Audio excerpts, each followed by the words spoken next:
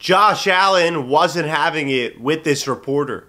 Following the Bills' win over the Jets 20 to 12, Bills quarterback Josh Allen spoke to the media when he addressed the offensive struggles against the Jets in the tough weather conditions.